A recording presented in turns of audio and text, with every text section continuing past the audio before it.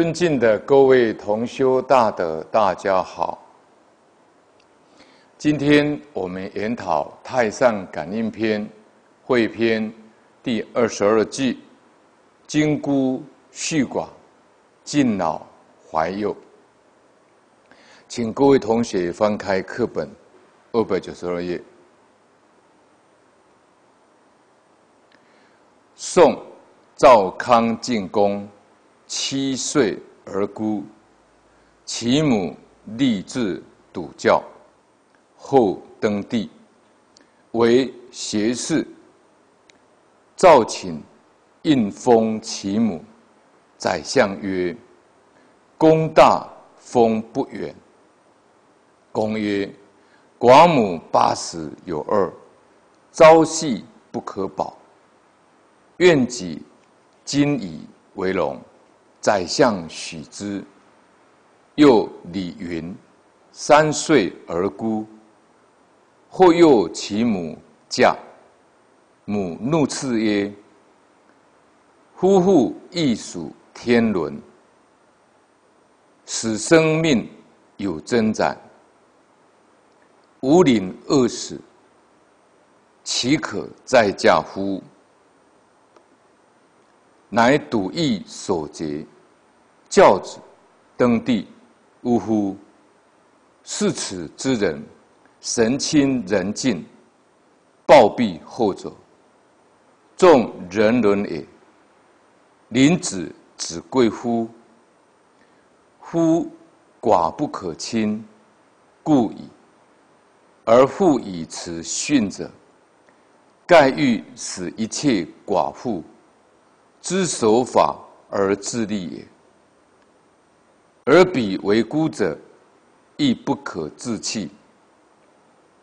当时孤而成大器者甚多，如张世训贫而孤，尽以苦志，自为台府；李惠贵而孤，潜修而为。民中臣，人方知为李惠公孙。他如刘志、欧阳修、陈尧佐之流，皆以幼孤立学，为己平章。如此方足以稍报寡母冰霜之苦也。欠勉在身，意志切焉。好，我们来看字迹解释解说。赵康进公，这个赵康进呢，他本名叫赵岵，赵岵哈，大概的岵哈，宋朝人。那么他是宋仁宗时的进士，啊，当过这个洪州的这个知州。那么在位期间呢？逐这个江河的实体呢，那么民众呢都不会被水所这个侵犯。他也当过翰林学士，啊，那么以太子少师呢，最后是做太子少师这个这个官位呢，啊，后来就退居了，啊，退休了。那么他曾经收集古往今来的大臣向皇帝劝谏的这个事呢，那么写了一本书叫《谏林》，死后呢啊被追称为康靖，所以叫做赵康敬公。笃教呢，笃教就是很真诚的、很努力的教学。印封呢，这个是古代。那么呢，或者他他的子女有功勋于国家，那么他的父母呢就可以受封，这是一个很特别的啊这一种，也可以讲说慎终追远。现在这个年代就没有了。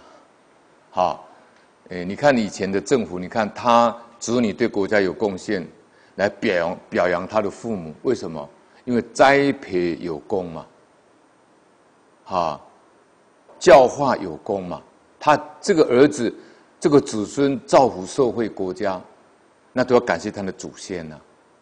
所以古代这个制度非常好，运轰，好。那么接下来这个大轰，大轰呢，就是说，你因为有受到运封以后，会封很多的土地田宅给他，啊。那么赐。母怒斥曰：“畜就是很生气的呵斥，这个意思。那么真宰，真宰呢？使生命有真宰呢？这个真宰就是宇宙的主宰。那这一季呢，我们要好好探讨一下啊，什么叫真宰？什么叫宇宙的主宰？”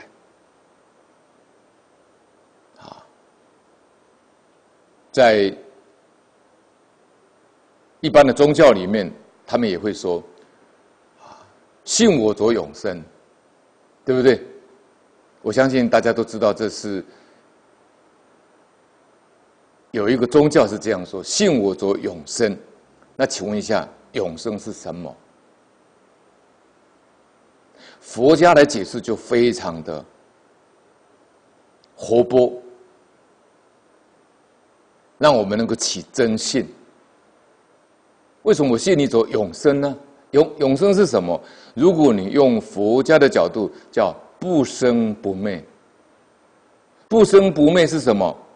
花开见火，物无生。就是我们回向记里面的“燕生西方净土中，九品莲花为父母，花开见火，物无生。”那个物无生，就是不生不灭，啊，就是六祖大师所证的那无所记子。何其自信，本自清净；何其自信，本自记足；何其自信，本不动摇；何其自信，本不生灭。最后产生大用，何其自信，能生万法。也就是佛陀在菩提树下所证的无上正等正觉，我们一般称在换语翻过来叫阿耨多罗三藐三菩提，这个就是主宰。但是这个呢，你讲给其他的民众或者其他的宗教，他们不认为如此，他们认为宇宙有个主宰的神。那么，以受主宰的神呢，给你祸跟福，给你生跟死，那就有什么？有上对下，有一个主宰神来主宰我们这些芸芸众生。但是佛教不是这样说，佛教称释迦牟尼佛叫本师，南无本师释迦牟尼佛，他是你老师。所以佛教讲师承，那么我们跟菩萨呢的同学，文殊菩萨、普贤菩萨、地藏王菩萨、观世音菩萨，他是已成就者。那像净空老法师，叫当成就者。我们呢，未成就者。佛陀在菩提树下正果讲那一句法语：“其哉，其哉！一切众生皆有如来智慧德相，只因妄想执着而不能证得。”佛陀已经开宗明义跟你讲出来：生佛不二，众生跟佛平等平等，佛有你也有。这就是佛法它就近的地方，它彻彻底底的告诉你宇宙人生的真相，这就是主宰。但是你要拿出一套理论跟事实来印证，你才有办法心服口服。啊，所以佛陀讲经说法四十九年，到最后法华经的时候，讲出事实的真相。唯有一佛圣，无二亦无三，除佛方便说。一佛圣就是叫你成佛，叫你做自己的主宰，那才是真宰。这里讲的真宰，所以死生呢不是由命。我们一般会讲说，生死由命，富贵在天。那这个就有点像宿命，好像富贵是天给你的，那生死好像是命定的，那将会流于迷信。各位，为什么世间人算命馆生意特别好？就这个原因，大家都跑去算命。而且大家都相信算命的。我有一个亲戚啊，从年轻就一直算到老，到现在七十几岁了。从年轻跟他讲说：“哎呀，你会有多有钱呐？你会怎么样怎么样了？”到现在孤家寡人一个。他后来彻底想开了，不相信命了，老实念佛用功。所以呢，佛法佛陀告诉你，唯有一佛圣，五二一五三那个二是是二圣，是大圣小圣，三呢就菩萨圣、圆觉圣、声闻圣，就大中小三圣。如果你要讲二圣，叫大圣小圣；如果你要讲三圣，那就是菩萨圣、圆觉圣、声闻圣。假设你没有办法成一佛圣，也没有办法到三圣，佛陀只好告诉你人天圣，这叫五圣说法。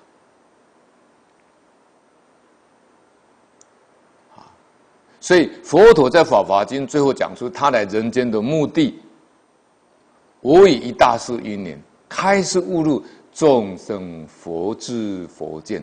那个开示悟入佛智佛见。就是叫你做自己的真宰跟主宰。那我刚才讲，你要拿出一套理论跟事实来验证嘛。现在人就是相信科学跟验证嘛。所以，死生命真的是有尊宰吗？这个有尊宰就好像有一个操纵的人，操纵的至高无上的神在控制死生喽。这句话的意思是这样：死生命由真宰啊。所以为什么我说《太上感应篇》呢？前者见浅，深者见深。他记住无量义，不要小看这个感应篇汇编。它是千亿年来多少的高僧大德，他们的。智慧的结晶写入这个汇编呢，所以能够研讨感应篇汇编，今生今世啊，能够听闻感应篇汇编，能够研习感应篇汇编，是一大福报啊。至少你不虚此生嘛。你说这部这部感应篇汇编我研讨过了嘛？如果不讲出白话，不讲出它里面的妙意。就像如同十几年前我一样，我也看不懂啊，为什么？怎么那么深呢？都是文言文呢。所以呢，这个因缘真的很殊胜。那我现在说要提出事实跟理论的验证啊，那我们就要开始来来了解一下佛法，它是刚才讲过是觉悟之法。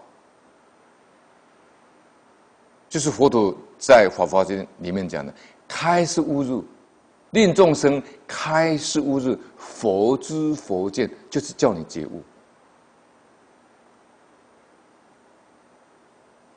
这个叫做什么？这个叫做大法，叫根本之法。啊，那么你真正觉悟了，是佛法所要求的标准。觉悟以后怎么样？他开发了他甚深的三昧、定慧等次的功夫，本具的性德。当你能够开发你本有的无上正等正觉，就无上菩提。那么它是超越时间跟空间。换句话说，开发自信，自信它是超越时间跟空间，因为它是绝代之法，它不是相对之法。相对之法它有时间空间，比如说这个距离好远哦，这个距离好近哦，那就是空间。比如说这个时间好长哦，这个时间好短哦。我们比较熟悉的，女生跟男生谈恋爱，啊，男生要是让女生等很久，或是女生让男生等很久，等十分钟或是一个小时，他会讲说：“让我等那么久，才十分钟是那么久，为什么？因为执着才会觉得它很长很短嘛。所以呢。”这个觉悟之法，它是超越时间空间，它超越世间一切的知识。各位记得，知识哪怕是你拿到博士，不能解决生死烦恼。所以为什么很多博士还会造业？我们常常看报纸呢，媒体也在报道，啊。有些博士为了名闻利养，久受财气，这五欲六尘，啊，那犯了很大很大的一些过错跟罪业，招致社会的批评。为什么？因为知识它只是你的生活技能而已嘛，你懂一点世间学问而已嘛。但是这个世间学问，它不能够解决你的烦恼生死，也就是不能帮助你放下你的执着分别。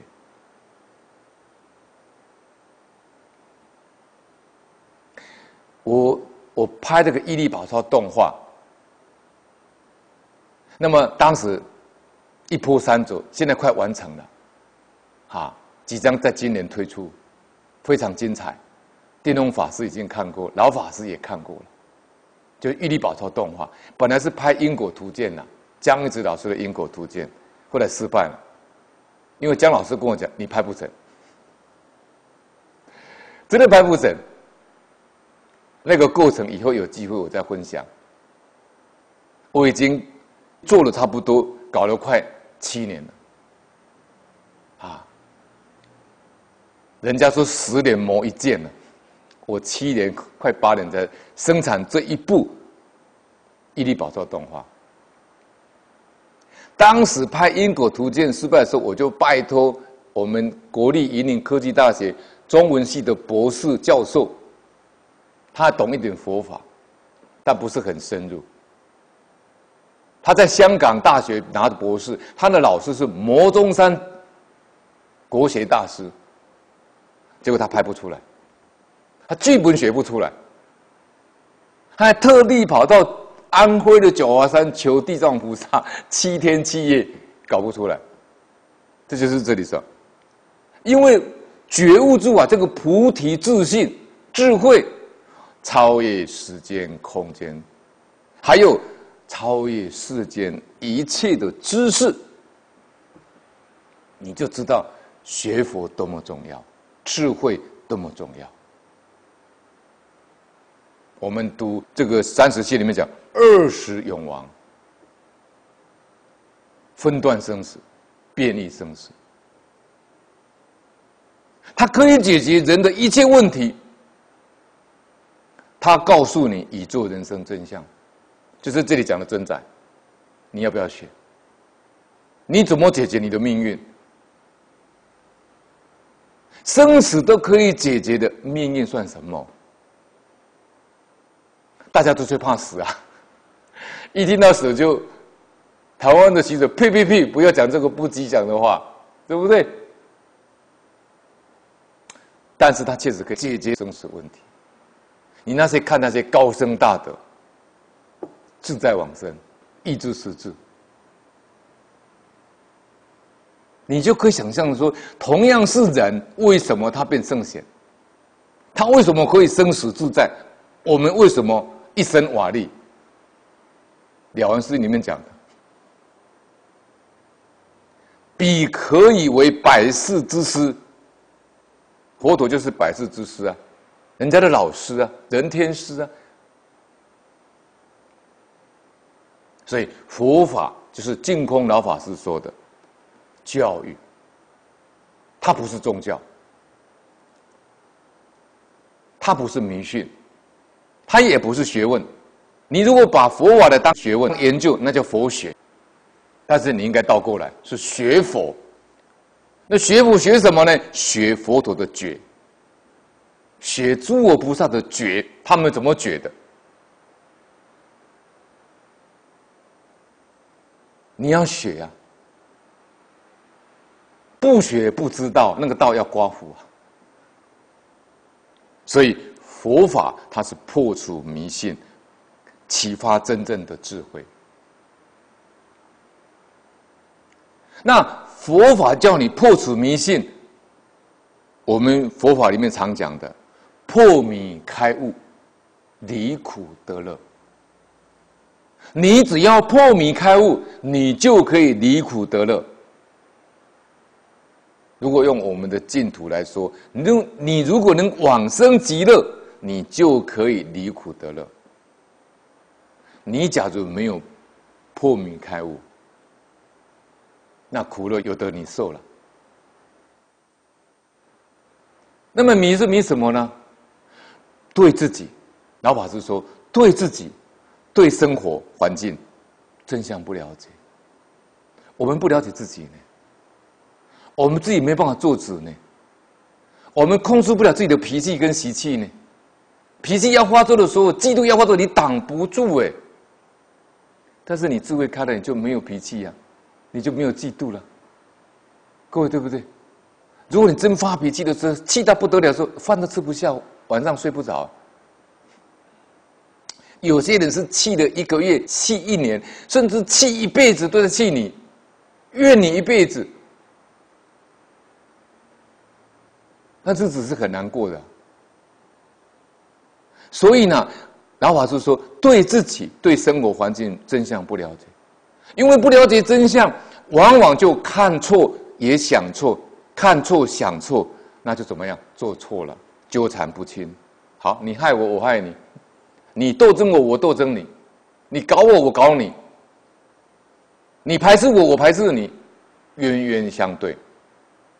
我们说冤冤相报何时了？下次再纠缠，你还是在轮回。”那怎么办？苦啊！所以不只是生苦啊，你说饿肚子啊，没饭吃，那是生苦啊。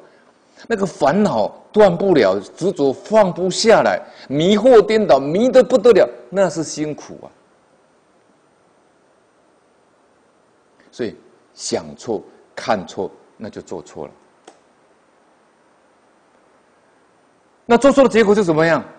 老法师说：“苦啊，什么都不对劲啊，苦啊，走不出去呀。所以现在为什么忧郁症人这么多？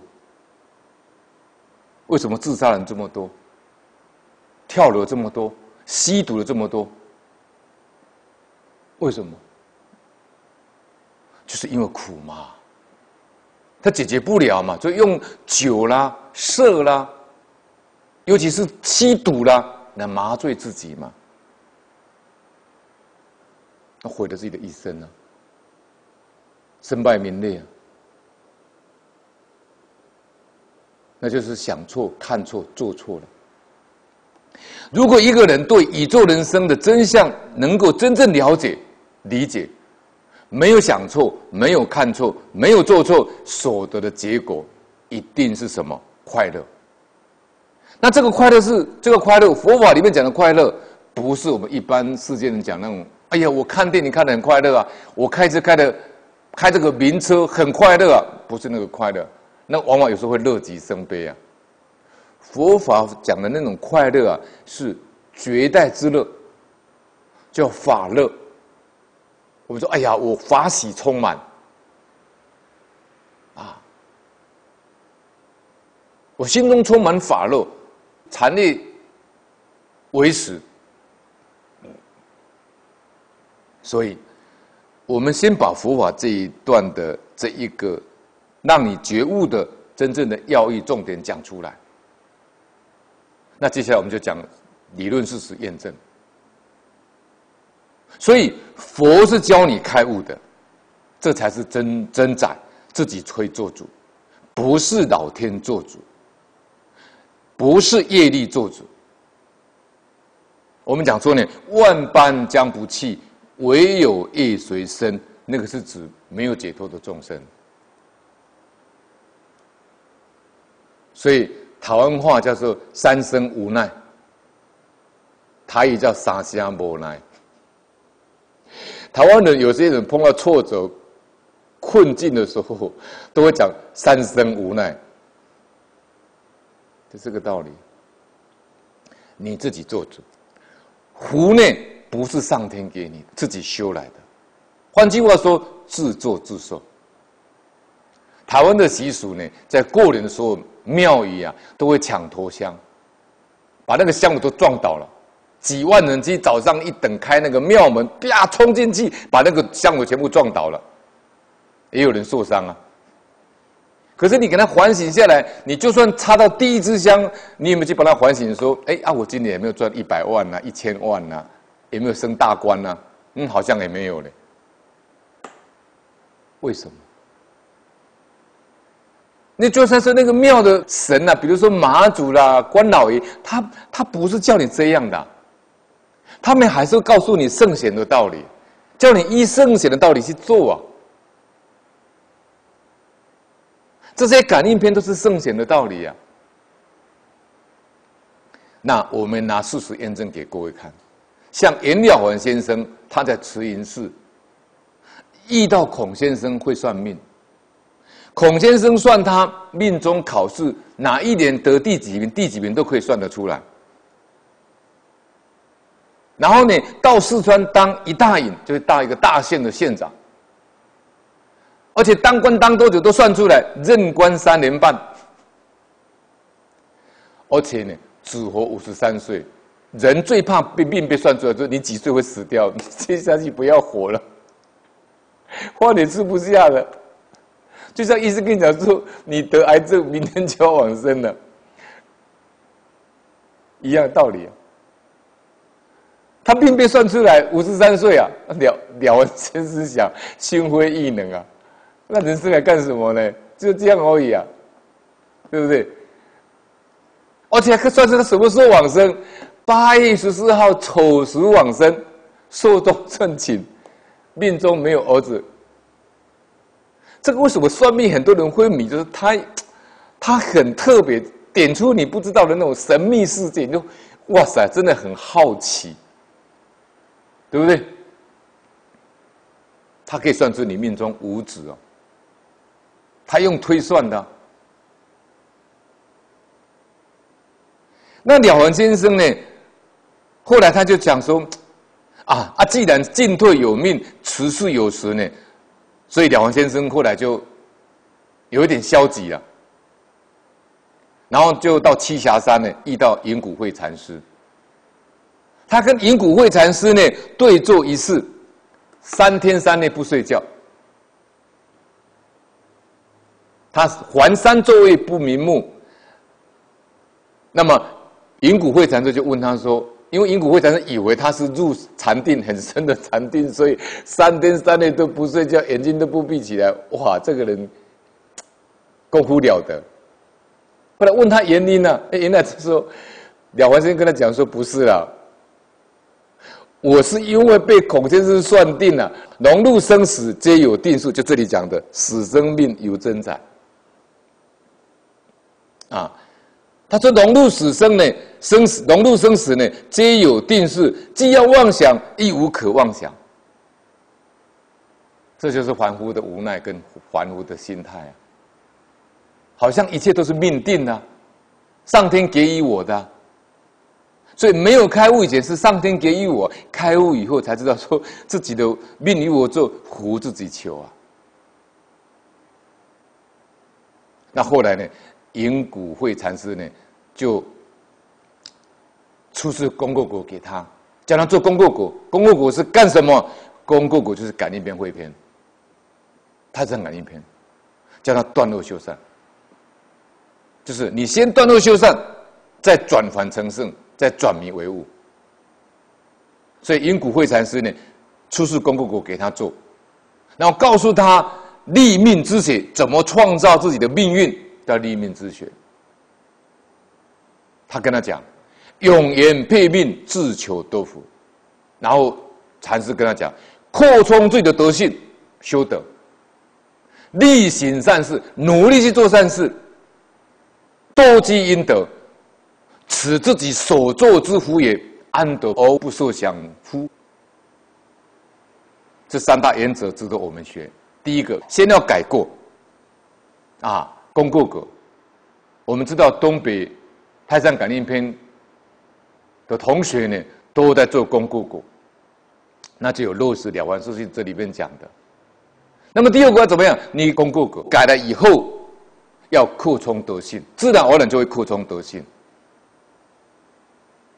你日日改过，日日之辉，妄想越来越少，那么你的德性就会显发出来，这叫扩充德性。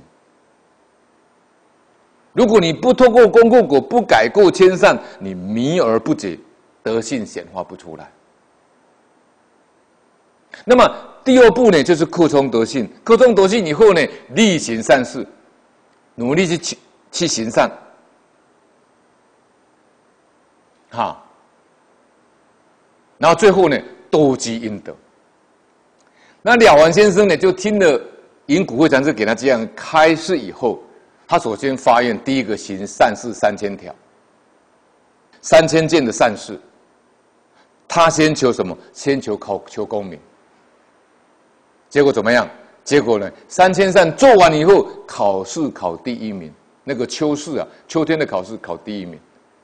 本来孔先生算他什么考第三名，哎，他改变了，自己做自己的真宰了，自己做自己的主宰了，改变命定呢。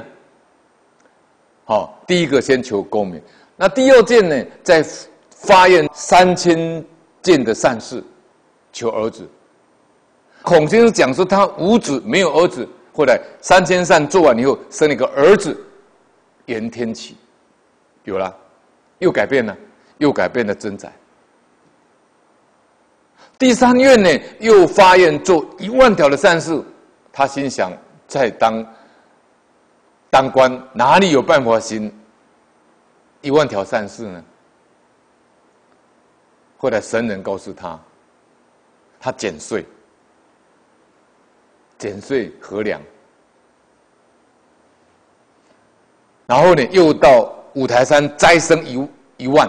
就共生一万，我这不得了了，共生一万呢，不是说共生一千呢，是我们的共生只有几百几百，他两环先生共生一万呢，他拿自己的薪水，结果呢，孔先生算得到五十三岁有恶有恶就是要死掉了，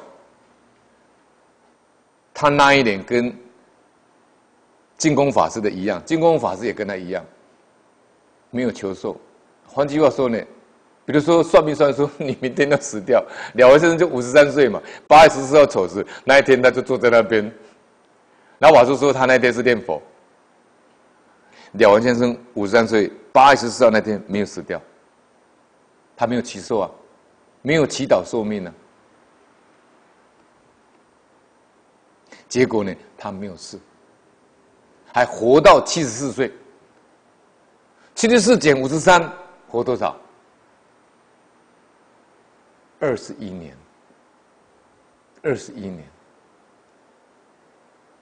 一季是十二年，他将近延长了快两季，所以寿命是可以修来的，可以得来的。了凡先生的例子很值得事业失败的人。一生都是业力的人，一生都是疾病的人，一生都是不如意的人，可以学颜了凡先生。所以颜了凡先生呢，造福很多人。我所知道很多学佛人呢，都学颜了凡先生，他功德无量。真的是功德无量，了不起。所以呢，最后了凡先生呢，因为得到善知识，引古会禅师给他接引，所以为什么学佛路上要要要有大善知识？他会提醒你，会指导你啊，告诉你一个方向啊。所以他后来就这样自己一生这样去修行，得到这个立命之学以后，他领悟到一个道理。他说：“命由我做，福自己求。”了完事里面讲：“我教典中说，求富贵得富贵，求男女得男女，求长寿得长寿。你想要世间功名富贵，可以啊，求富贵，你种因呢？”就得富贵呀！老和尚讲，你要财富，你这财布施啊；你要得聪明智慧，你法布施啊；你要得长寿无病，无畏布施啊。佛法跟你讲，因从因下手，所以要当自己的真宰，必须从因地下手。因地是哪里？因地就是心地，你从根本下手就对了。佛法呢叫内点，什么叫内点？向内求，不是向外求。向外求求不到。所以我教典中说，教典就是佛佛典，佛陀的教化。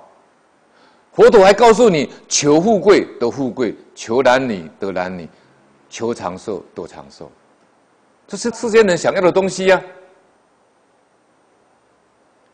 所以了凡先生说呢：“一切福田不离方寸，方寸就是心。从心而觅，感无不通。你从心地去找，从心地去修，没有不感应道教的。求在我不独得道德人力，亦得功名富贵。道德能力就是信德，道德能力就是智慧德能。”啊道德能力处处世间财，功德法财，功名富贵世间财。了完先生说：内外双德，内外双德，你求在我不独得道德人力，亦得功名富贵，就是真财。自己做自己的主宰。所以了凡先生又说了：“书经曰，书曰，天难称，命迷长。有时候世间人就是对老天呢不了解。哎呀，天意难测，就是天难称。我们常常碰到那些意外的事情出现的时候，或者说一些你不可知的事实发生的时候，你常常会怪罪怪罪天地，怪活菩萨。这个叫天难称，因为你不懂得宇宙人生真相嘛。”所以你会怪祖先、怪父母、怪天地、怪佛菩萨不公。我常常听到有些没有学佛说：“啊，天地不公平呐！”就是天难称。那是为什么？因为他没有学佛，没有觉悟，他没有断恶修善，没有反迷为悟。所以他说：“天难测，天地不可测。”也就是说，不相信。不相信天呐？他说：“天天道不容易相信，命迷场呢？人的命呢没有一定的。然后又云：唯命不移场，皆非狂矣。唯命不移场的意思说，人的命没有一定，这是了先所悟出来的，也就是可以改命，是靠自己造的，这是。”教典中佛经跟你讲的“唯命不移场”也是圣贤讲的，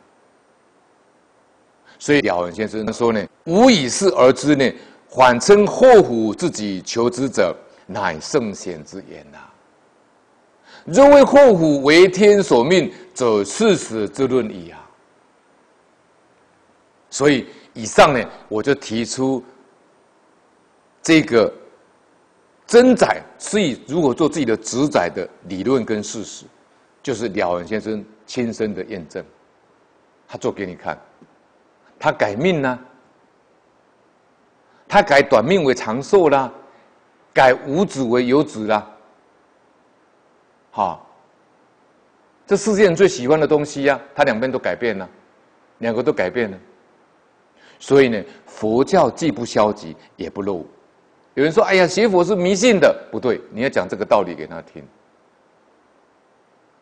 是能给我们真实利益的。”所以《无量寿》里面讲，佛教是圆满地帮助我们众生解决一切苦难的问，让我们每一个人在每一生，在这一生中得到幸福快乐，家庭美满，社会和谐，国家富强，世界大同。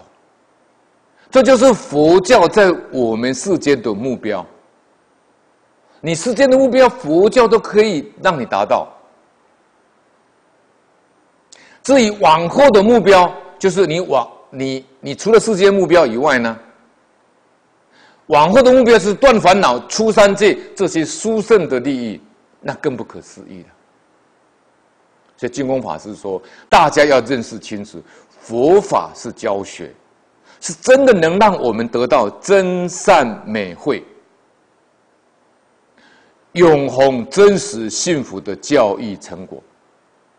所以这一段呢，我特别引用了凡先生的领悟的道理，还有老法师的开示呢，来跟各位分享这个真载的真正的意义在这里。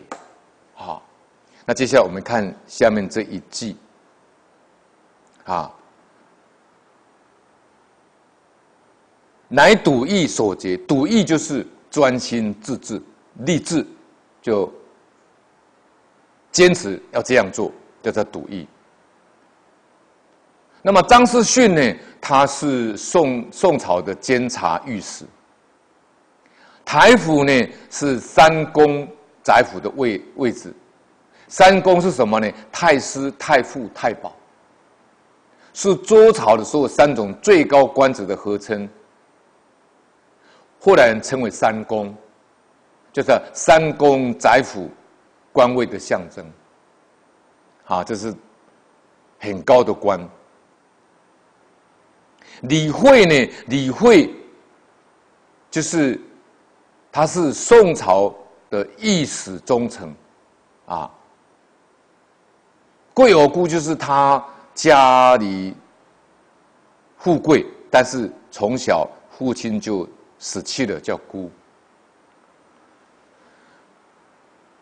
潜修而为民忠诚，这个忠诚呢，就是御史台的长官，啊，有一点像我们台湾的监察委员、监察院院长，叫忠诚。那如果在大陆的话呢，哈，应该叫做啊，这个中纪委，就我所知道，好像是中纪委。那么李惠公呢，叫李端，哈，他宋太宗的时候呢，担任谏议大夫，拜相就当过宰相，好，他做从政呢，他四大体，以清简为务，就是他他抓大原则，不注意小细节，哎，当官要这样。有些人呢，就太注重细节，所以呢，宋太宗称他说呢：“小事糊涂，大事不糊涂啊！”嘿，这个很适合现在为政者参考参考。小事不用太计较，啊。那么宋太宗时啊，他立主太子继位，乃宋真宗。啊，他后来也。也兼修国史，因为生病呢，免除宰相的职务，好死后被追称为正惠，所以叫做李惠公。他本名叫李端。刘志，刘志就是宋朝人，他是宋仁宗的时代进士，他也反对这个新法，啊，那么。他本身呢，当御史，啊，他弹劾这个新党呢，罢长平仓，还有免役法，啊，他拜尚书右丞，啊，右仆射，啊，那后来呢，宋哲宗的时候呢，他被贬官，啊，一生呢大起大落。那欧阳修呢？欧阳修在宋朝是很有名的，是唐宋八大家之一，啊，各位都晓唐宋八大家。他学问很好，会写诗词，他号称的醉翁，嗯，好像这样酒量是不错喽。欧阳修醉翁，六一居士，他小时候很贫穷，跟着母亲郑氏学这个孔孟之学。那么宋仁宗的时候进士，他跟梅尧臣等人呢以歌诗唱和。他写文章呢特别为范仲淹辩护，但是被贬官，贬成夷陵县令。他后来呢又上书呢反对罢范仲淹，他非常欣赏范仲淹，后来被招为翰林学士。他提倡古文，好，他排异太学体，好，他也反对王安石变法。那么呢，他写的文章呢，被称为唐宋八大家之一。那平生呢，讲义后进，像曾巩啦、王安石啦、苏洵父子，都受他的提携过。都称赞他。那么他也本身擅长史学，啊，他修了这个《新唐书》，还有《新五代史》，啊，写了很多啊这个书出来，像《欧阳文忠公集》《集古录》《六一词》等，啊。那么接下来这个陈尧佐，陈尧佐呢，他是宋朝人，他年轻的时候很喜欢读书。那么他的毛笔写的非常好，世间四号呢，当时人称他叫推墨书，他也会写诗歌，哈。那么力学呢，力学就是努力学习。平章事呢是古代官名，唐代以尚书、中书、门下三省长官为宰相，因为官高权重，不常设置，所以。选任其他官员，家统中书门下平章事之名，简称统平章事，同参国事。啊，那么宋朝的时候呢，都是有年高望重的大臣来担任，位置在哪？位置在宰相之上，这叫平章事。冰霜呢？冰霜就是操守坚贞清白。啊那我们来看啊这一段哈这一段的这一个白话。宋朝的赵康进公七岁的时候呢，父亲就过世了。他的母亲呢啊努力的教导他读书。后来他考上功名，为学士，成为翰林学士。那么赵公呢请求朝廷呢封他的母亲。赏封他的母亲，那么宰相就说了：“你离皇上大封的日子不远啦，不要急啦。”那么赵康进宫说了：“我寡母已经八十二岁了呢，朝不保夕呢，希望马上给他这个印封啊！”你看他讲的也有道理啊。好，那么宰相就称喜他孝顺了，就答应他的说：“好好好，马上给你啊。”啊，母亲呢来应封。那又有一位叫李云呢，他三岁的时候呢，父亲就过世了。那么有人就引诱他的母亲呢改嫁，他的母亲呢就很生气的呵斥说：“夫妇他是属于天伦，夫妇之意本来属于天人，死生是由造物者决定。啊，我宁愿饿死，我怎么可以再改嫁呢？”乃赌意所结，还是坚持呢他的节操守节，叫他的儿子后来他的儿子啊李云呢得到功名。呜呼，就是哎呀，令人赞叹了，不是说呜呼哀哉啊，这哎呀，真的不简单呐，赞叹。视此之人，神清人静，像这样的人，这样有修持，能够坚持守节的人，这样孝顺的人，神清人静，这个呢，神明跟世人都非常的尊敬他。那当然果报是深厚啊。众人人走，这种敬重人伦的呢，哪里只有得到一个贵子呢？哪里只有儿子富贵呢？好，那么再下来说说呢，寡妇不可以轻视，故也就是这是一定的道理。而父以慈训者，而又再提出一个话呢来训勉，希望使一切的寡妇呢。知守法而自立也，知道有所遵循而自立自强，也不要自暴自弃。你做那个孤儿的人，也不要自暴自弃，而彼为孤者，亦不可自弃呀。当时孤儿成大器者，你要知道，孤儿成为一个大器，就是成为国家的一个大将或者良相，成为有成就的人。这很多啊，像张世勋，贫穷，又是孤儿，后来就是苦心励志，位置当到什么台府啊？台府就是宰相啊。那么李慧呢？小时候出生虽然家庭富贵，但是父亲已经早亡了，他就潜修而为民忠臣，他自己努力潜心呢，修养读书呢。当上一史忠臣啊，大家才知道他是李惠公的孙子啊，就是李端的孙子啊。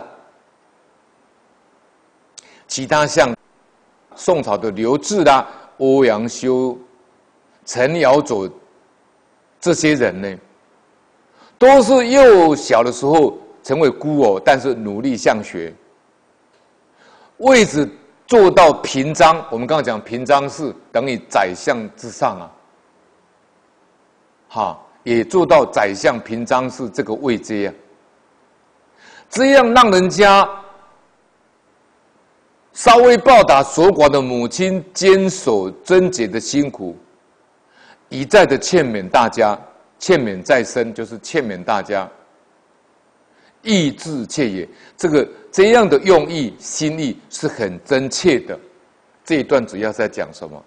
啊，要孝。孝顺这个寡母，啊，孝顺寡母，那么也勉励这些孤儿不要自暴自弃，啊，因为这一章只要是探讨寡妇跟孤儿，还有老人，那特别举赵康进公，还有李云，哈，来勉励，啊，还有张世训，啊，还有李慧，哈，还有刘志。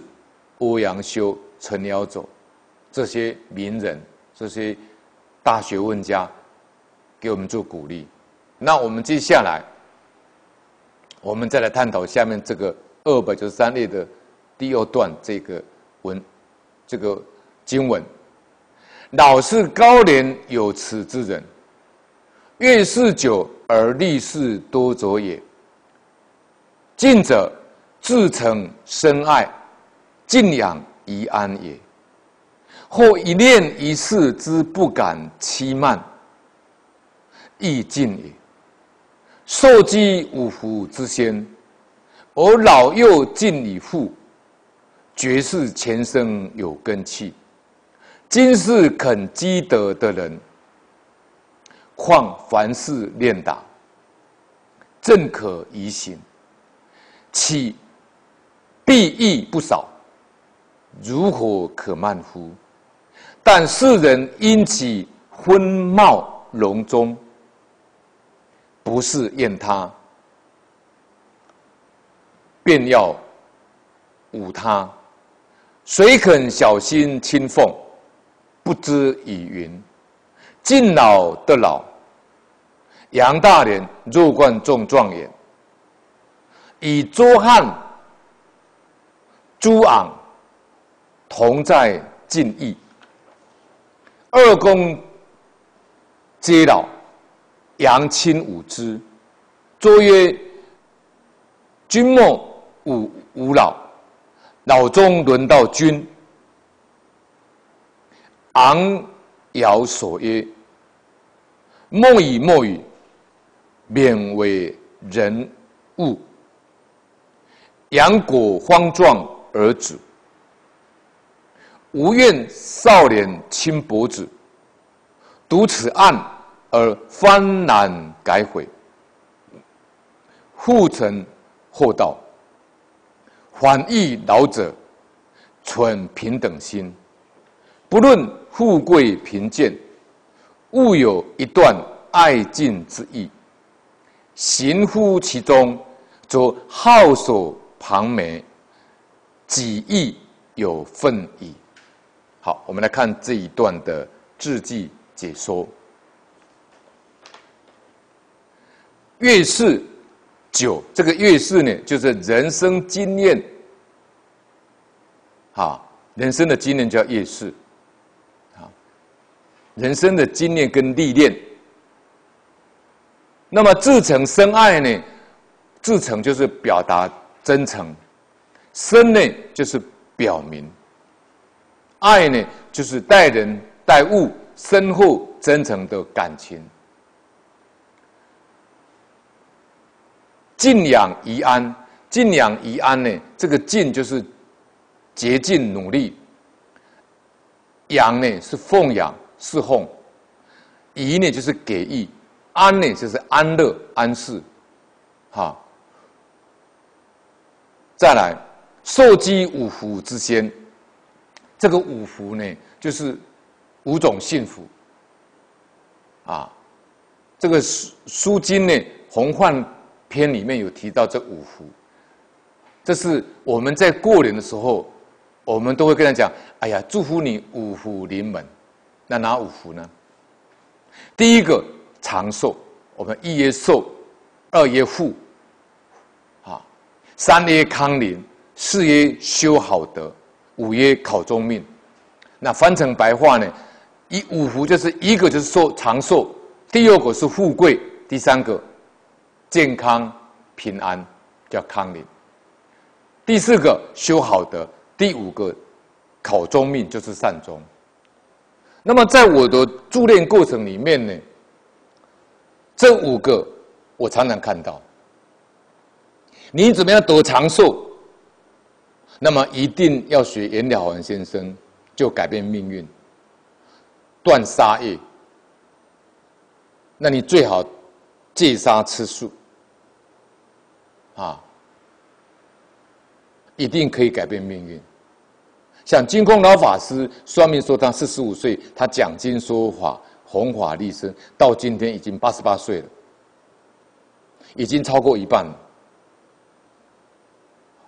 多燕山也是超过啊，对不对？这些都是圣贤示范给我们看呢。所以寿命是求长寿躲长寿，刚才已经讲了。求长寿躲长寿，求儿女得儿女，所以寿是修来的，是得来的。这是对世间人来说了，因为世间人最重视的就是一个就是生命，一个就是钱财。这是对迷惑众生来说呢，这两个是他们追求的。但是一般人都是心外求法，以为有个宇宙人生的真神在控制，在给予。他不知道是自己呢，命由我做，福自己求，是自作自受的。所以五福里面那个寿，你要去修德，你要去刚才讲的积阴德、力行善事、扩充德性，就可以得到寿了。海贤老法师一百一十二岁啊，所以很多人误解啊。他说：“念佛为什么会短命？你没有按照圣贤这样修啊！啊，一般都是迷信呢。把阿弥陀经当成什么？临终注定说去他家诵经做妻才诵的阿弥陀经呢？哎，这是真的有这样的一个见解呢。民间人都是这样说呢，所以民间人很忌讳啊，很忌讳念阿弥陀佛。我以前讲过，我妈妈生病住台大医院，我去上班，拿一个念佛机给我们那个菲律宾的外劳，我说你播给阿妈听。他说：“不要听，不要听，那是世人的东西。他把阿弥陀当成死人的东西呀。”我们这里有个莲友的妈妈，那怎么样都不想念阿弥陀佛。他说：“念阿弥陀佛。”后来我就怎么去度他，你知道？他喜欢念观世音菩萨圣号，非常喜欢观世音菩萨。你要去度他，从观世音菩萨再进入阿弥陀佛的世界。你知道我怎么度他？我就跟他聊啊。我说：“老菩萨，哎，念观世音菩萨很好啊，健康长寿啊，可以消灾免难呐。”哦，他就很高兴了。那时候哈，讲堂有放大杯水在佛桌上面，可都没有人念大悲咒啊。我说：“你来念大悲咒，加持，请观世音菩萨加持大悲咒水，给大家喝这个大悲咒水，你就跟大家结善缘，结法缘。”哦，他就很高兴，每次来都练四十九遍，那么练一百零八遍的大悲咒。那我跟他讲说，你练完大悲咒，因为这里有阿弥陀佛嘛，所以你练完大悲咒，再加练一百声的阿弥陀佛圣号。你要再加练呢，他就真的练了。这每个礼拜都来练了，每个礼拜来一天呢，他就对阿弥陀不会害怕了，不会恐惧了。这是第一个寿命，所以你一定要从戒杀放放生开始，吃素，最后呢要减少妄念，最后要戒除妄念，最后要把毛病习气改掉，要把执着放下来。你把执着放下来，再把习气毛病改掉，然后你再去戒杀放生吃素，或者你先戒杀放生吃素，再慢慢改这些毛病习气也可以。一定可以改变命运的。净空老法师说：“细胞排列组合重新调整，这是第一个一业寿。那二业富呢？你要富贵，刚才不是讲了吗？求富贵得富贵嘛。你想想要有钱，你赶快先布施啊，从一块钱开始啊。净空老法师。”当时在跟李炳老师学法的时候，不是没有钱吗？那他老师说一块钱你也没有，他说一块钱有，他说你用一块钱去买糖果跟大家结缘嘛。他后来他经过老法师喜欢买书来看嘛，买佛书倒是一般的这个儒家的书啊。他刚开始舍不得把新书给别人，你看老法师。视线给我们看了，他到后来连新书都送给别人，就开始学舍了。老法师这一生印经、放生、关怀病苦、医院的医疗救济，他改变命运了。他说这几年来，老法师跟我讲，他也在讲经这样讲，他总部是几个亿了。几个亿，那个亿不是台币啊，是人民币啊。你看，强地马法师要在斯里兰卡盖隆喜大学，这个我最了解。强地马法师规划这个龙喜大学已经规划十几年了。刚开始写规划，我就知道在哪里，在台北市的信义路啊，一家建筑公司设计的事务所。我亲自看到那个设计图啊，嗯，等待了十几年的因缘，终于等到净空老法师帮他。所以你看，要成就一件大事啊，也不简单呐，要善根福德因缘了。强地马法师也等了十几年了，快将近十年以上，终于等到老法师帮他。老法师这次帮他多少？非常的多啊！现在已经开始动土了。你看，老法师自己没有庙啊，自己没有佛寺啊。你要到香港佛陀教育协会去看那老法师的会客室啊，那个知客室啊，你会觉得说，我们都觉得很惭愧啊。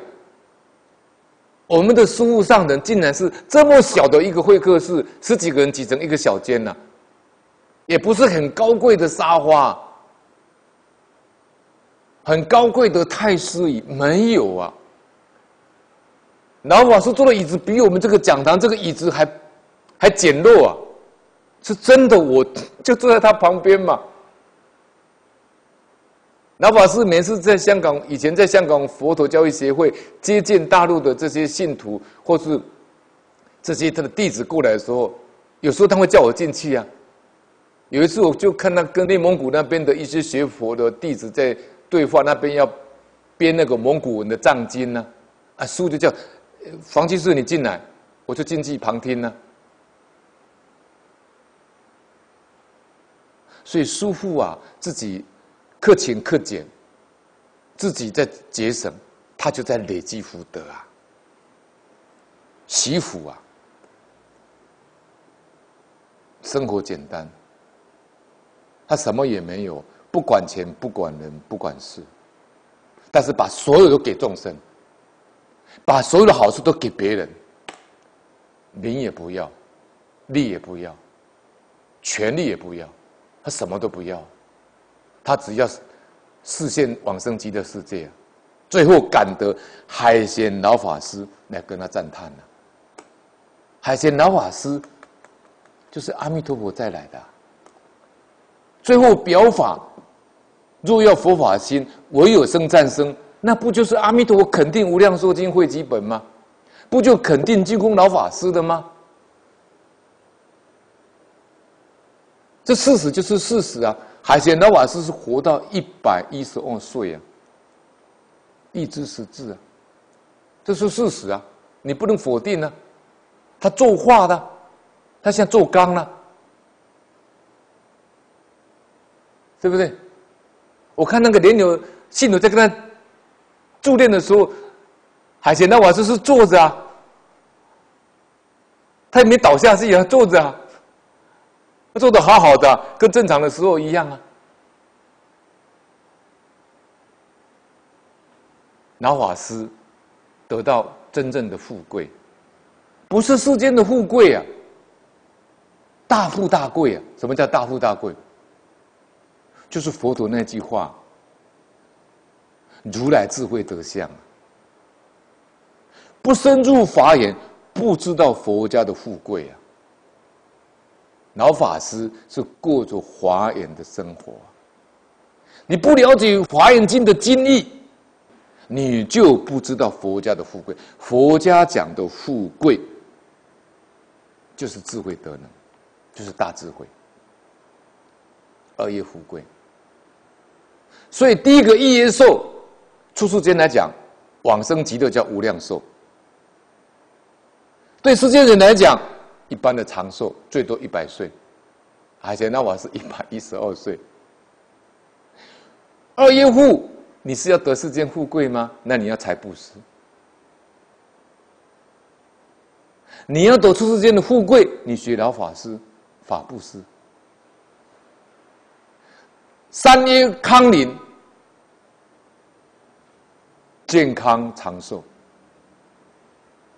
康宁就是。无畏布施，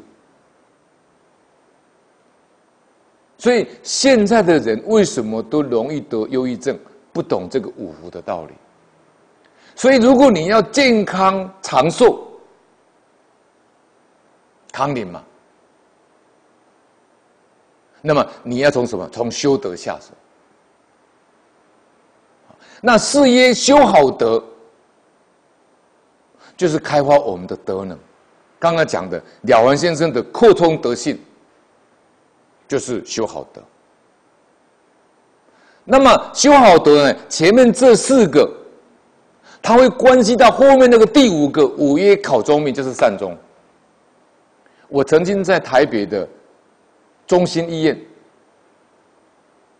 帮一个八十七岁的老菩萨助念，五代同堂，他的孙子找我去跟他说法。那我助念完说法完毕以后，我就跟他孙子来说：“你的祖母是修好德，所以考中命善终。”你没有看到那个场面呢？五代同堂在跟他助念呢，连那个小小的孙子辈的，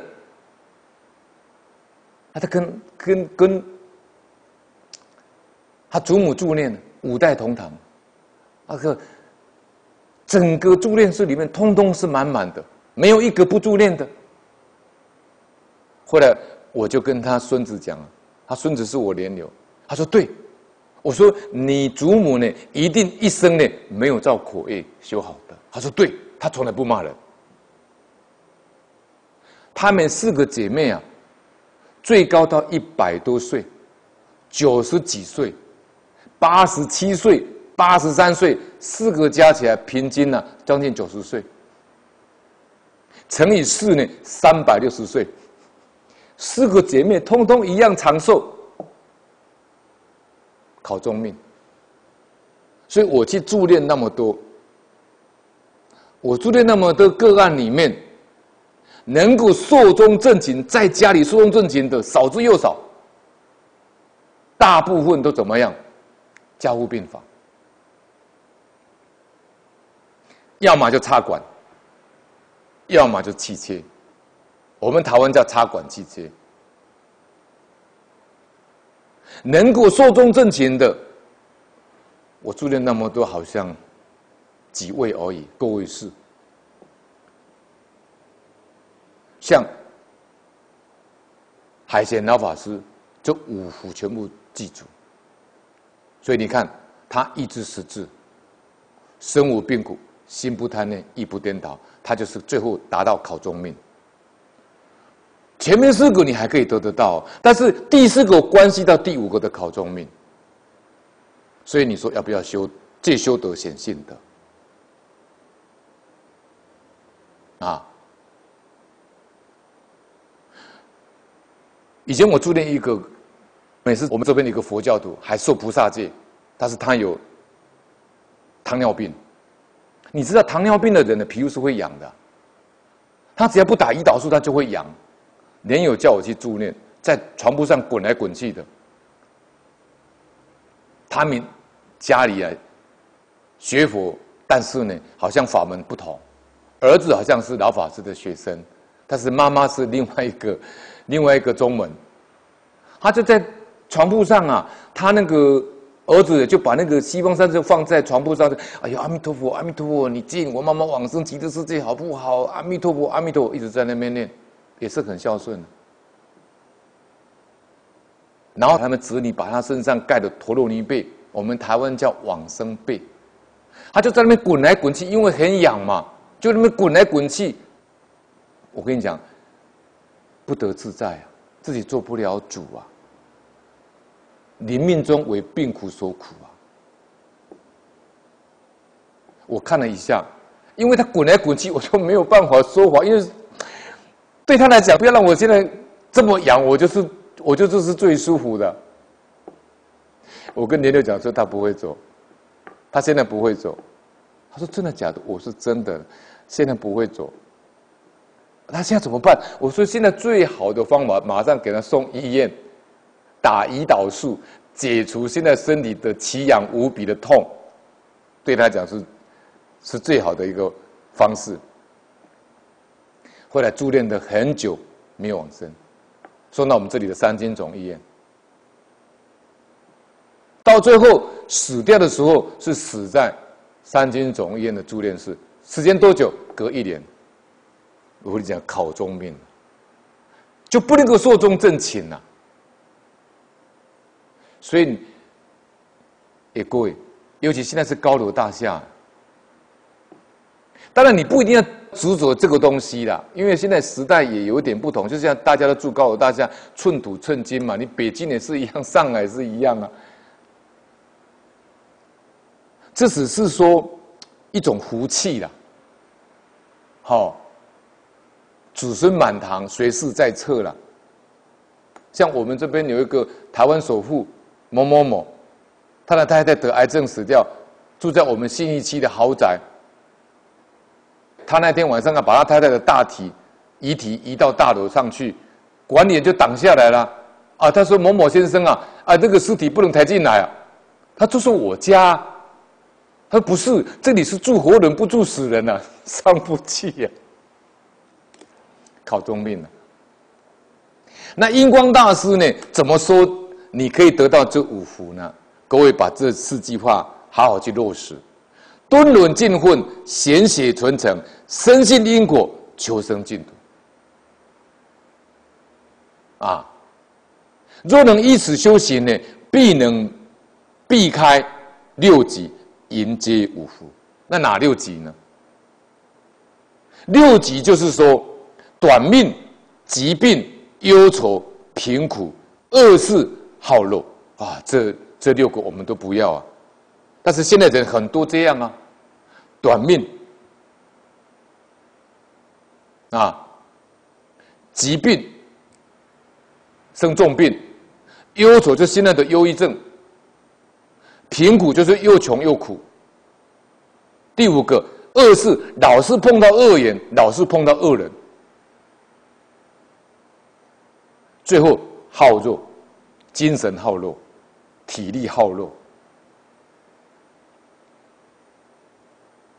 如果你天天呐真修实干，读无量寿经呐，念佛拜佛，听老法师的科字，改自己的毛病习气，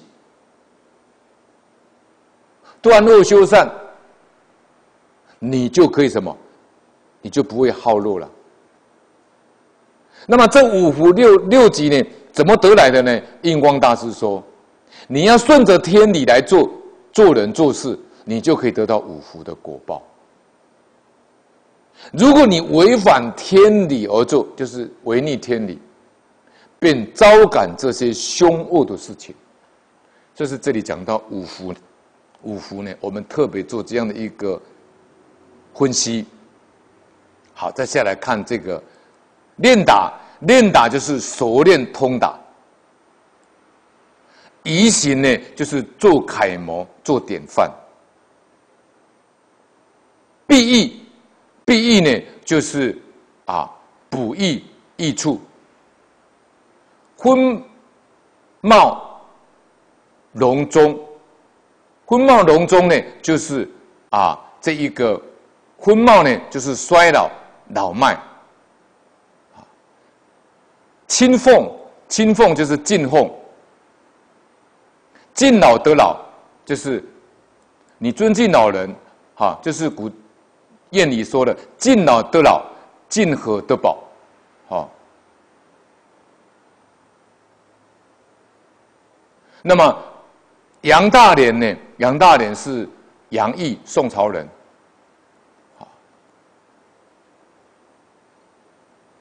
那再来肉冠，就是古代的男子呢，二十岁为成人加冠，哈，那因为身体还未长长大呢，叫肉冠。周汉，这是梁周汉呢，那是宋朝人，那么也是啊，那时候的这一个进士，哈，起基郎，也是当官的。朱昂呢，朱昂也是宋朝人，啊。要做到翰林学士，好。那么再下来这一个敬意，就是啊，宫中的旁舍，就是天子的住的地方。那么青脖子呢？青脖子就放荡的少年。那欢然改回，欢然就是啊，这个改变的样子。第四行这个皓首旁眉，皓首就是白头发了，年老了。旁眉呢，就是眉毛黑白杂色，形容很老了。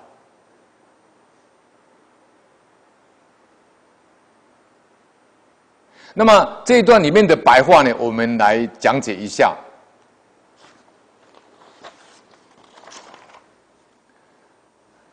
老呢是。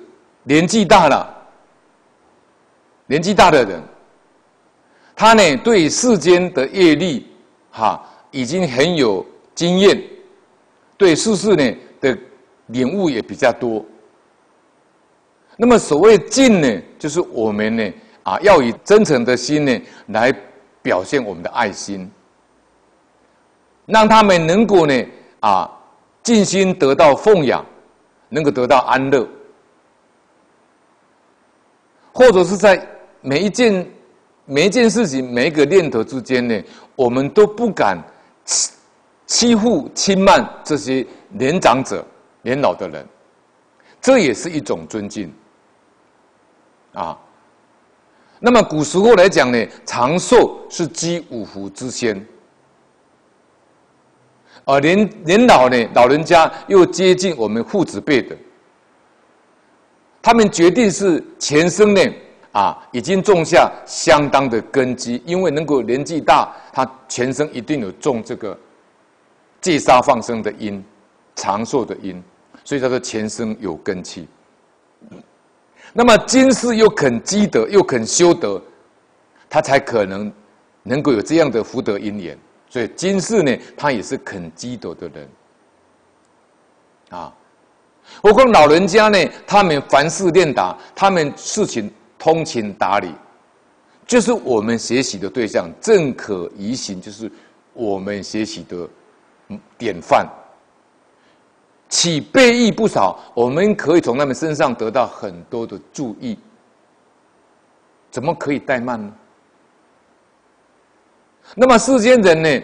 啊，认为老人家头脑混乱，行动不便，昏冒笼中，就是头脑混乱，行动不便。那不是讨厌他呢，就是要欺负他。有谁肯小心的来侍奉他们呢？不知道。俗话说呢，敬老得老，你敬敬重老人，才会，你到老的时候才会得到人家的尊敬呢。杨大年在二十岁的时候考中状元，跟卓汉还有朱昂一起在皇宫做事。两个老人呢，年纪都很大，那么杨军呢，就是这个杨杨大年呢。就是常常呢，轻侮他们，就是轻视、侮辱他们。那么卓汉呢，就说了：“你不要欺负我们老人呐，你也是会老啊。”那么这个朱昂呢，就摇头的说了：“莫以莫以呢，就是说你不要这样没有礼貌，这叫莫以莫以。”以免将来呢，人家也欺负你啊。那么杨大年呢，果然年纪轻的时候，壮年的时候就死掉了。我们希望这些呢，啊，年纪轻的人，这些少年轻脖子，就是放荡不羁的年轻人。你读到这个故事呢，希望能够幡然改悔，就是你能够改过。你要心存厚道，凡是遇到老人家呢，你要存平等心。这一点呢，坦白讲，我自己都有做到。啊，我很喜欢跟老人家呢啊讲佛法，我也很喜欢呢看那些小孩子学《弟子规》。那那我们讲堂的呢，都有《弟子规》的小朋友，每一个到的话，在吃饭的时候，我都会去跟他摸摸头，啊，跟他们开开玩笑啊。今天学的怎么样啊？那老人家平常都来这边念佛读《无量寿经》，哪一个没有来呢？啊，隔两三天没有来，我就问他：“哎，啊，你这两天怎么没有来？”他说：“哎呀，我牙齿痛了。”那我就跟他开玩笑：“啊，那你要注意一下。”哈，老人家呢就很喜欢。啊，我们这里呢，啊，白天呢都有几位老菩萨在这边绕佛念佛读《无量寿经》。那每一次呢，共修完呢，我一定会在门口呢啊送他们，啊，就是什么平等心，啊，讲堂也不攀连呐，他们不管啊富贵贫穷呢，我都是平等心对待他们。所以呢，这个地方跟我们讲，存平等心呢，不论富贵贫贱呢，他也告诉你不要分说富贵的就对他比较好，贫贱的对他比较不礼貌，没有必要。所以我们这里呢，啊，有几位莲友家里很穷，缴不出学费的，啊，我都叫莲友呢，大家一起呢帮助他们，能够缴学费，啊，那么有一个师姐呢，家里很穷，是这个身体呀，是也有一点点业障病，啊，一种这个比较是属于肿胖，然后叫他拜。三茶忏礼佛，拜佛，哎，最近瘦下去了。那他儿子呢？没有钱可以缴学费呢，我叫他集资呢给他，啊，也克服了。啊，那他儿子是读基督教的学校啊，我说你改天带你儿子来给我看啊，啊，很清秀，来也鼓励他会懂电脑。他跟我讲说：“哎，那我儿子是读是好像是基督教的学校啊。”我说：“没有关系，你就带他来啊。”啊，那我鼓励他要修复。他是一个清洁工，我说你要努力去修复。所以他现在学做香鸡，帮忙洗菜切菜。啊，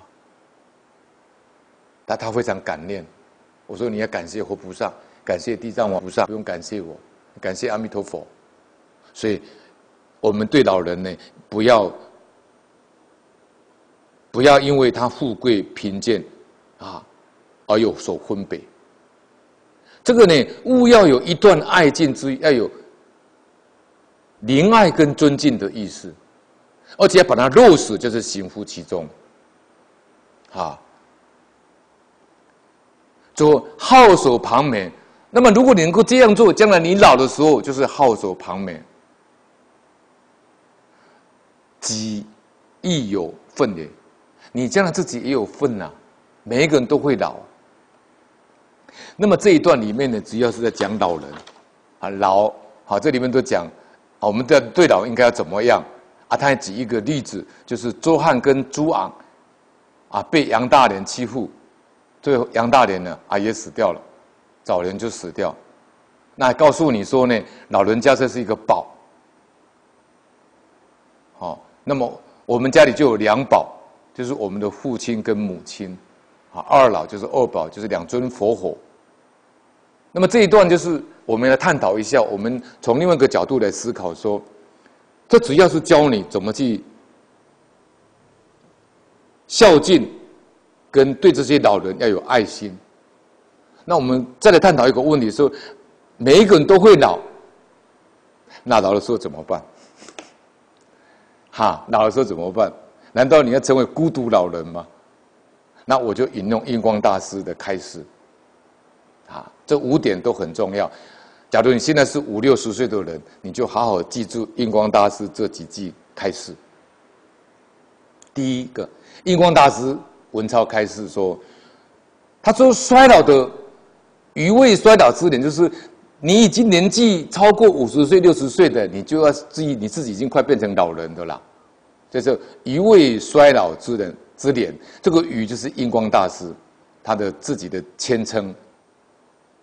老的时候，我会常这样跟我们这些老菩萨讲：“我说老的时候什么都不要想，当勤念佛，积静为重，方有实实质的利益。”我们这里前几天我就碰到一个年友的这个亲戚，他来这边打佛衣。我说：“那你平常在做什么啊？”他说：“我在我们这边一个创世基金会啊，我们这边有个创世基金会，专门在收集发票，发票中奖以后就可以有奖金嘛。那奖金就做这个基金会，照顾这些诶老弱伤残的，比方说老人呐、独居老人呐，好，或者是啊这个啊这个中风的啦，啊，或者是这些啊智能不足的。”都是有我们台湾的这个创世基金会，我在讲座里面有提过这个创世基金会，啊，这个创办人曹庆呢非常了不起，啊，是一个菩萨视线。那天我就碰到他，就跟我讲了，他说呢，我都在那边啊，呃，这个收集发票。我说，那你这样哈，你一个礼拜抽一天来，你哪一天是休息不去收集发票？他就跟我讲说啊，哪一天哪一天，我说你来这边读无量寿经，你要把它导归极乐。哎，那天就听我的话，他真来了，来这边念佛啊，还有读无量寿经。人老的时候，你是在那念佛，不然他会打妄想。啊，啊，不能是怎么样？有些老人呢，我看这个电视报道，要出国去玩啦，哈，要不然就打麻将啦，要不然就到公园去唱歌啦。每天在那边闲脸闲你的是非，人我是非，到后来老人的时候呢，就变成老人痴呆症。连自己的儿女都不认识，连自己的夫妻也不认识名字，这什么？老人家你要鼓励他念佛。那印光大师说呢：“良有为障自立，不求佛家，丝毫祸业不尽。你只有想要靠自己的力量，不求佛力加倍，那么你只要有一点点的烦恼习气，祸业就是无名祸业，没有铲除干净。”生死绝不能出，不能够了生死。那净土呢，则即信念行三个，并可待业往生。一得往生呢，则永出生死。悟正者呢，顿登补处。这个补处呢，就是一生补处。一生补处是什么呢？就是啊，夺帅内宴，夺帅内宴呢，啊，就法身大事啊。他们所这个往生的地方呢，叫一生补处。那我们往生极乐世界呢，补处呢，就是就是你一心不乱，就十报庄严图、长极光净土，就是顿灯补处。好，那为悟者呢，亦正阿比八字。阿比八字呢，就是不退转菩萨，就是我们念回向记里面讲，里面里面所说的。不退菩萨为伴侣，那个不退呢，就是指念不退。我们有三不退：位不退、行不退、念不退。那位不退呢，就是比如说像言教初性位的菩萨，他已经开悟了，可是悟后起修呢，他还有这一个很多的这些维系后要破。比如说言教初心位的呢，啊，他虽然是悟了，但是言教初心位到七心位之间呢，他是破什么？他是破见识后，哈，破见识后。那言教八心位、九心位、十心位破尘沙后，这是指言教藏通别言里面的原教。言教出性位的话呢，他就正得位不退了，就是不会退到凡夫了。为什么他开悟了，所以就不会变成凡夫了。所以阿罗汉的阿罗汉的果位是小圣的，他等同大圣里面的言教出性位的菩萨位不退，阿罗汉就不会再退转成为凡夫了，所以他就不受后有，不受后有就是不会再轮回。那。言教的那个八性位、九性位、十性位，他破尘沙，尘沙后等同菩萨了。他证得十性位以后，再入十性、十智、十行、十回向等觉妙觉。那进入那个十智位的初住，言教初住位的菩萨，就是破一品根本无名，他证得法身，他就法身大事了，那就是跟观世音菩萨。跟普贤菩萨一样，那是法身大师了。那如果他在言教八心位、九心位、十心位，他就可以做到什么样呢？叫行不退，叫不会再推到小圣了，哈，不会治疗了，他会去利益众生，这个叫做行不退。那到言教的初住位的时候呢，他就证得这里讲的为悟者呢，亦证阿比八字，他可以证得什么？念不退。所以到言教初住位就是念不退，叫念念都跟沙婆肉海相应。沙婆肉海就是功德性海，就是智慧。啊，那这个是对净土法门来之后，他才跟你讲说：悟正者顿灯补处，为物者亦正阿比巴智。啊，这是第一点，印光大师对老人家的开示。那么第二点，我特别引用莲池大师呢，来说明印光大师说老人家只有念佛，他的道理。莲池大师呢，他年纪轻的时候呢，啊，十七岁的时候，看见他邻居有一位老老婆婆，老婆婆每天念佛数千遍。那莲池大师就问他了，他说：“哎，老菩萨，那你怎么念佛念这么勤快呢？”老菩萨怎么跟他讲？先父持佛名，临终无病，一人一拱而北，故知念佛功德不可思议。嗯，这几句话把它记起来。他说：“我丈夫呢，他平常就念佛啊，临终时候没有病啊，跟人家一拱而北，就跟人家再见说啊再见呐，就像海鲜老法师的妈妈一样啊。”我走了，叫那个海鲜老法师他的这个俗家的这些姐姐呢，还有海鲜老法师呢，啊，过来呢，用完餐以后说：“我走了。”跟这个一样，一拱而北。所以老菩萨说呢：“故知念佛功德不可思议。”莲子大师受这个老菩萨影响，从此以后写了一个“生死四大”四个字，放在桌子上面。提醒自己，以案头自错，就自己勉励，啊，这是我引用莲池大师呢，拿来说明呢，啊，这个印主所说的，老人家呢要鼓励他念佛。那第三个呢，印光大文钞里面讲，事关显因之时呢，远不如一夫一妇。啊，显因法师这个事情，我等一下把再来补充。他说：“显因这位法师死掉的事情呢，不如一个一夫一妇。而显因所知，显因法师所知道的佛法，可能这些一夫一妇呢也达不到。可是渔夫渔妇所得到的呢，又不是显灵法师所能达到的。为什么？法师他所知道的这个佛法。”到最后往生的时候，竟然输给一夫一妇呢？印光大师说：“所谓信水澄清，有分别而分动，四波奔涌啊！因佛号以停你，故知上智不如下愚，弄巧成拙。”这句话怎么解释呢？为什么你鼓励老人家念佛呢？信水曾经，就是说，你可以让他慢慢的去告诉老菩萨念佛的功德，让他可以慢慢把这一生的融入死生呢，这一辈子里面的所有恩恩怨怨，乃至一些的平常的这些毛病习气，只有这句佛号，把这些得失能够慢慢放下来，把这些苦乐忧喜者慢慢放下来，让我们的性德这个。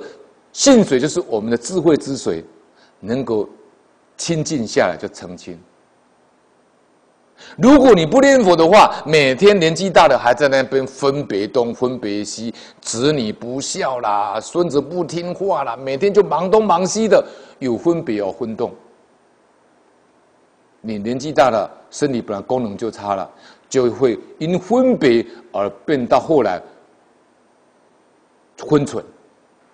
那因为有分别而昏动呢，四波奔涌，四波就是什么？我们的烦恼习气，我们的执着分别，我们的啊，那也是呢，就像大海里面那个波浪一样，四波奔涌。但是我们虽然烦恼这么多，像波浪里面的波一样，但是因佛号而停止。所以呢，上智不如下愚，弄巧成拙。那么这里提到这个显音法师呢，我特别来说明一下。显音呢是民国年代的一个出家人，他江苏人。他十七岁的时候呢，他礼关中市浙江关中市的地显老法师出家。这位法师呢，他年年纪很轻，根气也不差，但是呢，有一点点的呢，印光大师说呢，有一点点的慢心，慢心。他入关中学社，关中学社是当时地显老法师所创办的一个学佛的机构团体。他学习了天台教官。后来呢，他专心学密宗，东渡到日本高野山大学学密法。后来他去见印光大师。印光大师是一个大修行者，他一看到显灵法师就知道这个人根基不差，但是呢慢心习气重，他就跟他开示了：即以韬晦立修，待其涵养功深，出而弘法，其力弗矣。印光大师的意思是说，你应该要在一个地方砸下好好砸下根基，韬晦立修就是自己可以讲说，在一个。断绝一切往来的地方，好好用功，砸下所有的修学根基。等到你修持到一定的功夫，就是涵养功孙的时候，我们知道印光大师在浙江普陀山藏经阁，你知道待多久吗？三十二年，才被上海的一些大居士发现。最后书信往往返以后，才有这样后来的印光大师文钞。印光大师在这在这个浙江普陀山的藏经阁潜心修持三十二年，就是这里讲的涵养共生了。我们佛家讲常养圣胎。他以前开悟的人都怎么样？开悟了以后，没有马上去度众生哦，在高山水边徜徉圣态，就像六祖大师一样。六祖大师开悟以后，到哪里？到猎人队当他们的厨师哎，帮猎人煮饭煮了多久？煮了十五年呢，那就是什么涵养功深啊！现在的年轻人没有这个耐性了，看到净空法师很有名。看到电龙法师很有名，看到净空法师就追逐，看到电龙法师也追逐，啊！现在追逐日本跟韩国的影星跟歌星叫粉丝，我们台湾叫粉丝，啊，就很迷恋那个影星歌星呢，叫粉丝，啊，台湾有一种食物叫粉条。面食类的，只会追逐啊，追逐这些虚有的名相。佛陀不是跟我们讲吗？还所有相皆是希望啊。但是现在年轻人他不扎根基的。我从受菩萨戒到佛陀教基金会念点研究班，啊。开始学基础的佛法，开始跟简宏文老师学佛，学讲经，我用了几年，我用了大概是八年，每一堂课讲完，简老师一定把我这堂课讲的缺点全部用纸条写给我，写七八张，写到后来我自己都不好意思，无地自容，老师纠正的缺点一大堆。都让我很难堪的。等到我八年学完了以后，简老师跟我讲：“你可以上佛陀教基金会的三楼讲大座，就可以对学生讲话了，讲经了。”我从写讲经到成立孝林讲堂，能够稍微有一点点福报，可以利益众生。用的是三年，用的是三年，但是现在基础还是不够，自己本身修持也没有功夫，还是要好好听印主说的涵养功深。是因为电龙法师叫我来讲这个《太上感应篇》汇篇，我们才敢这样抛头露脸的，跟大家做共修共学，不敢讲说是讲经。所以，印光大师说，显灵法师应该韬晦立修，待其涵养功深，再出而弘法。其力乎矣。他这个力太大了，聪明有涵养，则成法器。你像果清律师、电容法师的师父，净空老法师说：“李炳老居士坐下，他这几个学生里面，这几十万的学的弟子里面，最有成就的，除了净空法师，再下来就是果清律师。”净空法师跟李老师学多久？学十年，跟了十年。果清律师跟李老师学法以后，也跟净空法师学法，自己闭关呢，每一次都三年，一共闭三次关。这个叫做什么？真正果清律师有照这个。印主这样说：“韬晦立修，涵养功深。就光闭三次关，就一一次三年，就九年了呢，几乎断绝所有的音讯呢。所以正解经说，为什么像他们的护助子天音法师、果良法师，为什么他们修持修持的功德力那么好，都是学习果经律师啊？我听说天音法师也。”闭关过啊，也是三年了，还修过波卓三昧。那一次去正解经社听天音法师开示，我佩服的五体投地啊！那真是大开眼界啊，正信而谈呐。你出我红华，那个力道就是不一样，那功夫就很深了。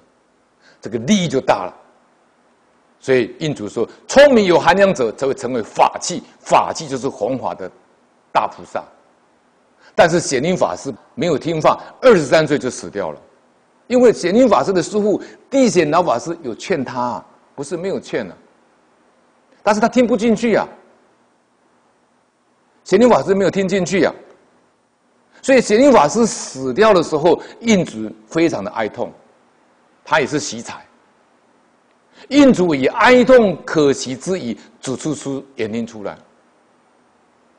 他说：“显因呐，天资甚高，他是非常聪明的一位修行人。